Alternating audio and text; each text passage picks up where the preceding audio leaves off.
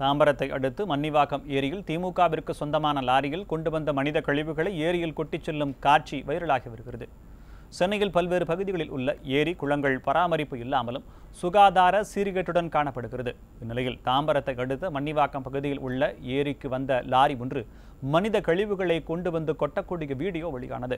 மக்கள் பயன்படுத்தும் ஏரியில் திமுகவினர் இதுபோன்ற அராஜகத்தில் ஈடுபடுவதை காவல்துறை மற்றும் மாவட்ட நிர்வாகத்தினர் கண்டுகொள்ளாமல் இருப்பதாக அப்பகுதி மக்கள் வேதனை தெரிவித்துள்ளனர்.